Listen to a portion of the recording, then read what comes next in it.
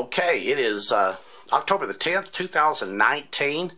I want to thank uh, all you ladies and gentlemen out there for your comments. So many good ones. I certainly appreciate it. I'm very grateful for all the comments on uh, what to build next. I'm going to surprise you at what I'm going to build. Quite a number of things, actually. I've been really inspired. Start out with, I thought I'd come over here to my stash and show you what I'm going to pick out. Okay. Uh, I want some modulation transformers that we're going to build not only three amplifiers, but we're also going to build an AM transmitter. We're going to use this modulation transformer right here. We'll start out with that one. And then, let's see, I think I'll pull out one of the uh, one of these to play with. These two tubes right here are duds. They have uh, open filaments. I just keep them in there for to hold the post up. so I'll take one of those. I have a whole box full of 813s, so I got a lot of good ones. But I, like I said, I do keep the duds around sometimes for uh, for modeling, you might say.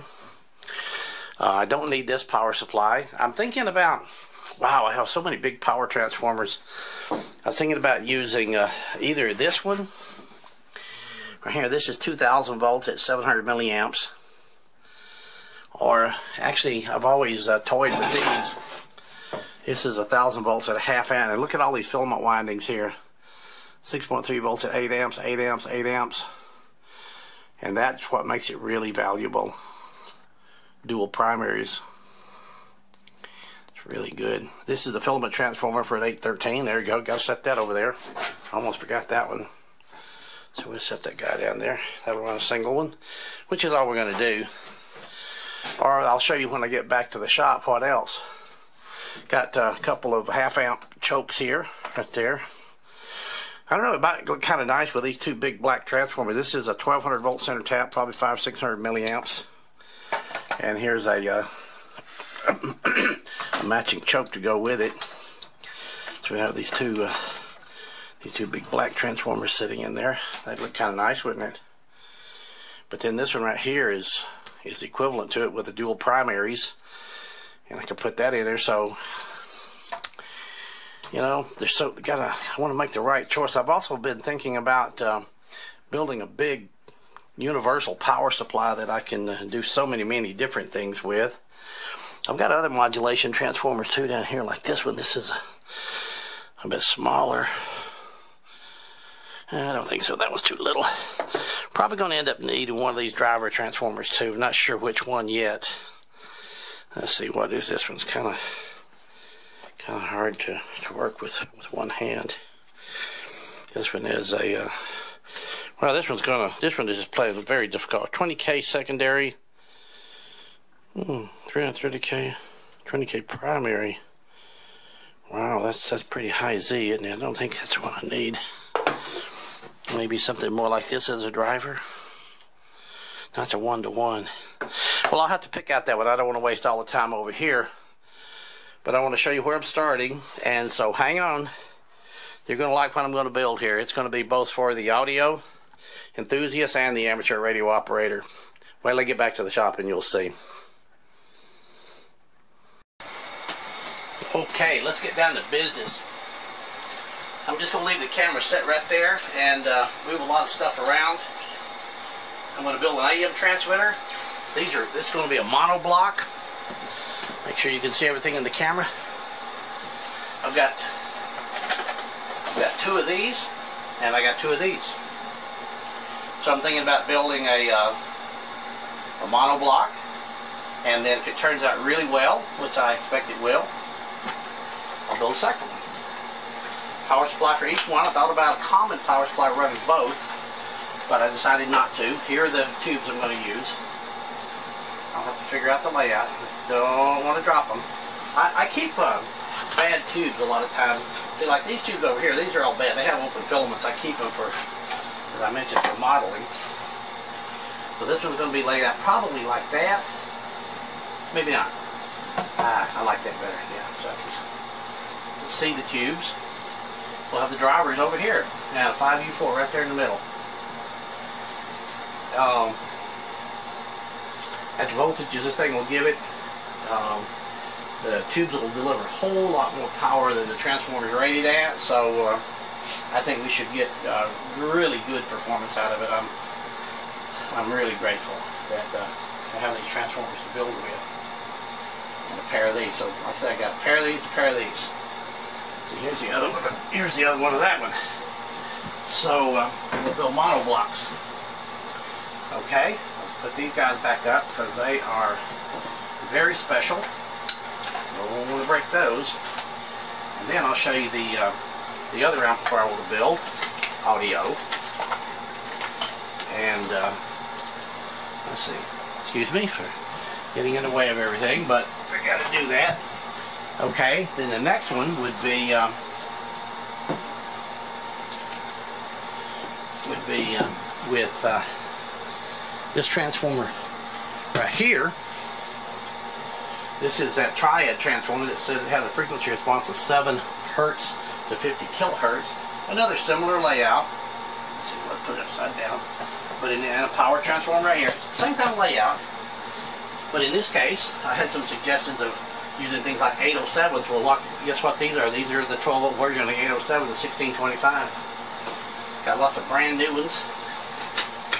And um, they're basically a 6L6. See, I got a boatload of these guys. We'll put a pair of those in there. Like that. And, and these are good tubes, so we have to be, we want to treat them very loving. Well, they sure are packed nice, aren't they? They got a, four little noodles in them.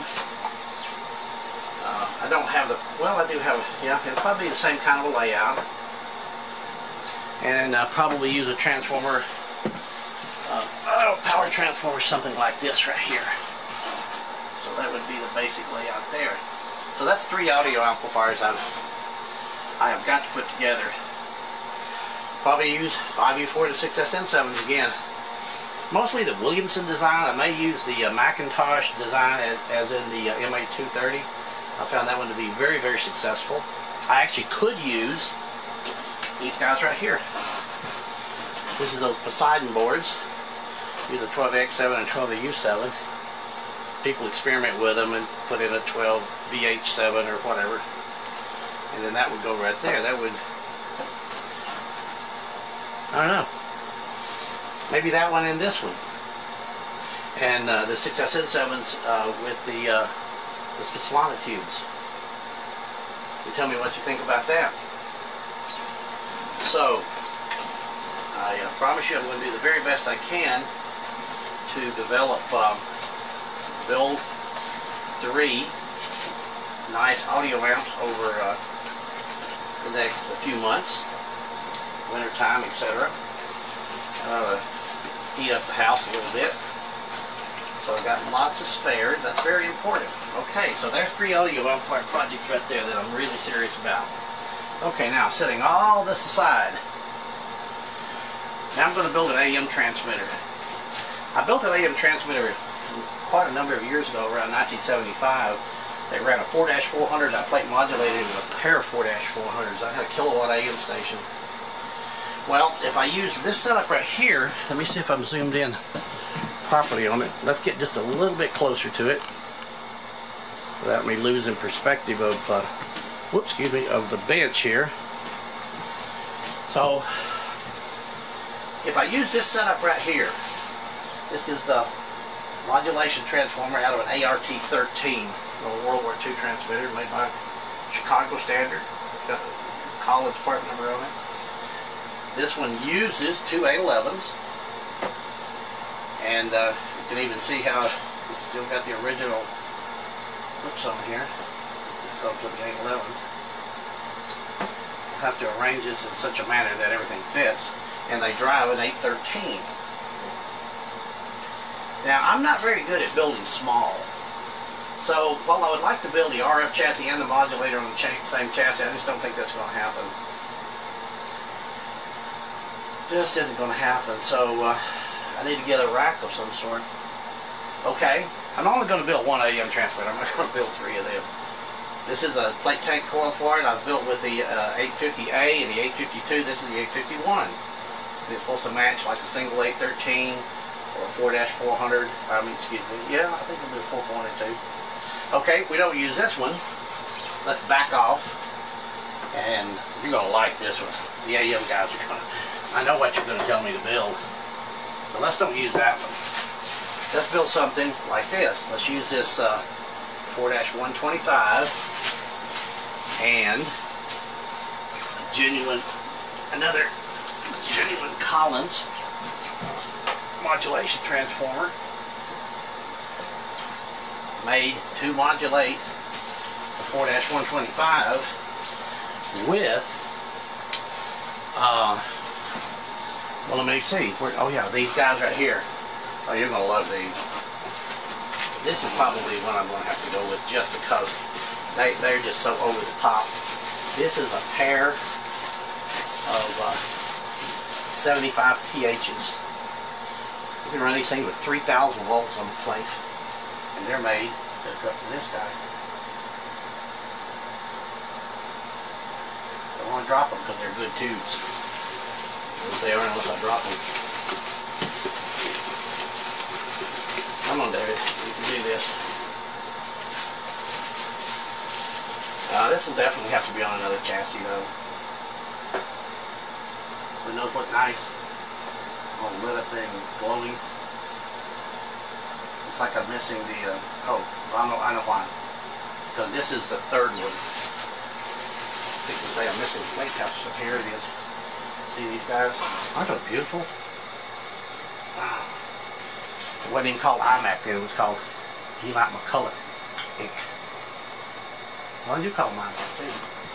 Anyway, they came with this transformer. They came out of my old Collins uh, 30K1 but in this case, I think the modulator will have to be on a completely different chassis. The RF deck will have to be on a completely different chassis. Now that's an AM transmitter. Not a lot of power, like 300 watts, something like that. But uh, those are the projects I'm going to build this winter, this fall and winter. So I got the 813 with modulated with the 811s. I got the 4125 modulated with the 75 THs for the AM. Got lots of power transformers I think, oh yeah. I don't know if I'll do this again or not. I did it in my in my 833 amplifier. But in the power supply, run these guys. Another pair of uh, 866As. Kind of nutty, isn't it? In today's uh, world of, uh, you can tell these guys need to be heated up for a long time. We got a lot of mercury floating around. But those things just glow so beautifully purple. I did that uh, in the 833 Alpha just just because they are so beautiful to look at and and uh, what's to modulate when you uh, when you talk into it. So this is the pretty much the end of this video, but this is the inspiration I've taken you ladies and gentlemen and all the questions and the 8,000 views and the and the number of comments. Uh, I, I, still may have to go with a separate power supply. I don't think I'm going to use the power supplies I've already built because the cabinet's not big enough anyway. I do want to build a, the transmitter all in one in one cabinet. Now the amplifier is going to be uh, self self-sustaining monoblocks, all three of them. And uh, and then I think I, I, may have showed this one the last time, but I don't know if you've uh, remember these these transformers over here just really really catch my fancy right here. They, these guys, whoops, sorry. These high voltage transformers over here. This one's uh, like 1800 something volts, 400 milliamps. Got a 25, 25 Henry uh, swinging choke and then a fixed 10 Henry choke. Man, that'll make, that'll make a wow power supply. I guess I got plenty of wild power supply, so I gotta wrap these guys back up very carefully but uh, that is, uh, again, the inspiration I've taken from the uh, conversations we've had. Oh, yeah, by the, by the way, the AM transmitter, this is the exciter I'm going to be using. I don't, I tend too often to get in a hurry and then miss something. Yeah, there it is. It's a little Collins 310B, made 1947. This is what I drove my first, uh, I'd say my first, but my big kilowatt transmitter with back uh, before I left Huntsville. Uses these plug-in coils to change frequency. See, this is a 40 meter, 80. I got them all. 20 meter. I think there's 20 meter coils in there right now. This thing turns on, powers up, works. After 72 years Look at that thing, smooth as glass. 15 watts. That's enough to drive uh, a Class C amplifier. Yeah, the AM transmitter would be Class C uh, high-level plate modulating. Uh, the modulator, the, a modulator is simply an audio amplifier, but instead of the output transformer having an 8 ohm tap, it has like a 5000 ohm winding. It has a, a winding that matches the plate impedance of the Class C amplifier. That's the only difference between an audio amplifier and a modulator. And then there's some ways to uh, enhance the uh, the output of the AM transmitter. We'll get into once we get into the AM transmitter. So there you go. Thank you, thank you, thank you. We will uh, get busy and have a lot of fun. And uh, all we got to do, the first thing is, uh, I always tell everybody, stay alive. Don't get killed by the high voltage. And the second thing is, don't burn up your tubes. Because if you burn up your tubes, well, then you don't have any and the project ends. Be safe.